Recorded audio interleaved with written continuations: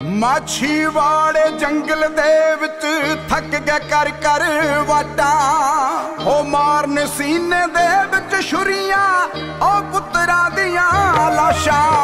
ਹੋ ਮਾਰਨ ਸੀਨੇ ਦੇ ਵਿੱਚ ਛੁਰੀਆਂ, ਉਹ ਪੁੱਤਰਾਂ ਦੀਆਂ ਲਾਸ਼ਾਂ। ਆ ਜ਼ੁਲਮਾਂ ਦਾ ਆ, ਦੁਸ਼ਮਣ ਵੇਖੋ ਕਿੱਡਾ ਨਿਡਰ ਹੋਇਆ। ਕਲਗੀਆਂ ਵਾਲਾ ਸਤਿਗੁਰੂ ਮੇਰਾ, ਜਾ ਕੰਡਿਆਂ ਸੋਇਆ।